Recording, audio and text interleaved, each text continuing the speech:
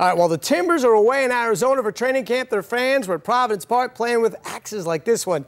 Yeah, it's a lot of awesome and a little scary.